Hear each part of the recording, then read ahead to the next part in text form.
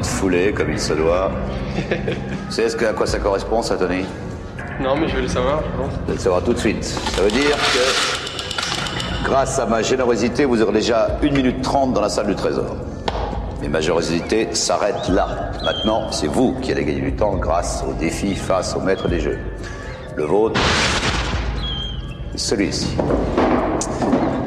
Alors, voilà comment ça se passe. Vous allez pouvoir regarder très vite, pendant quelques secondes, les formes et les dessins. Après, je change tout, je mélange tout, il va falloir retrouver le dessin qui correspond à la forme. Ok Visualisez, c'est parti. Hop, hop, hop, hop, hop, hop, hop, hop, hop, hop, hop, hop, hop, hop, hop, hop. Et je mélange. Alors, je vais réclamer au maître des jeux le poisson. C'est bon.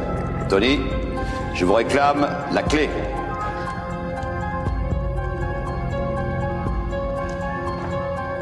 Eh ben non, c'est l'encre. Mon cher Tony, vous avez perdu. S'il vous plaît, au vestiaire. Deuxième chasseur de temps.